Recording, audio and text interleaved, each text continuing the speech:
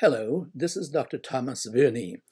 I am making this video from my home in Stratford, Ontario, Canada.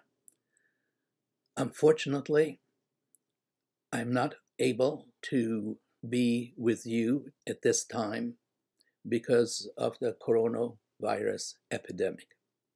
However, I do hope to come and visit Japan and visit with all my friends in Japan in November of this year.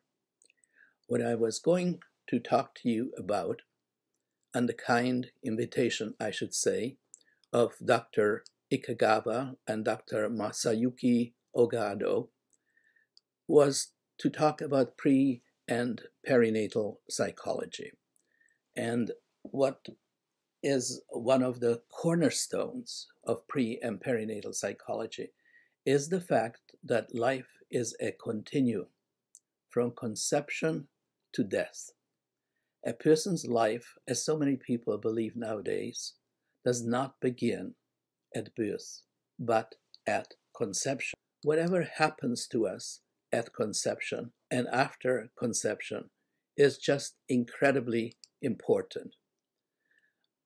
One of the other things that we need to realize as we learn more about pre and perinatal psychology is that there is no separation between the mind and the body. They are one. Whatever changes occur in the mind will affect the body and vice versa. When a woman is pregnant, this principle may be extended to her child in utero. And so how we humans develop and learn depends on the dynamic interaction, and this is incredibly important, on the dynamic interaction between nature and nurture. That is, nutrition, surroundings, care, stimulation, and teaching are provided or withheld.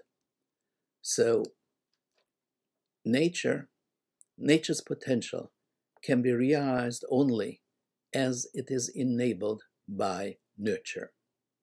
So, one of the important things, again, that I wish to talk about is that the brain is sensitive to experience throughout life, but experience during the critical periods of prenatal and early postnatal life organizes the brain.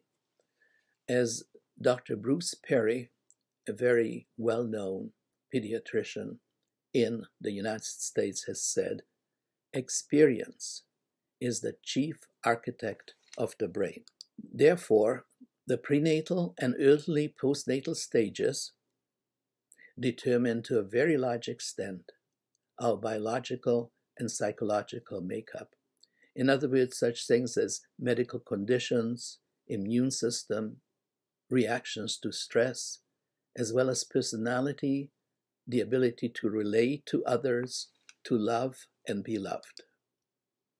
It follows that the prenatal and early postnatal stages provide a unique and best opportunity for the primary prevention of biological and psychological disorders.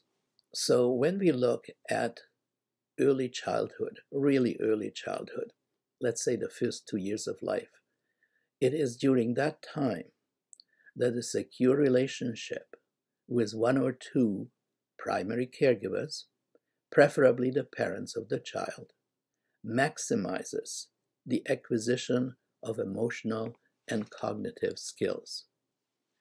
As uh, Professor Daniel Siegel, again a very well known psychiatrist in the United States, has so aptly put it, it is the human connections which create the neural connections from which the mind emerges.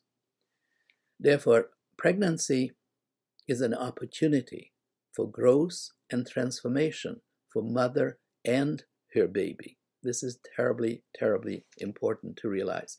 Everybody can grow through the early stages of uh, postnatal life. And so, finally, the mother is not just a passive receptacle or incubator for a child's growth, but rather an active participant. So these are some of the things that I will be speaking to you about when hopefully I can come for a visit in November when this coronavirus epidemic is over. I really, really regret that I'm not there now, but like I said, I hope to be there with my other Japanese colleagues in November. So, in the meantime, take good care of yourself and stay well. Stay well.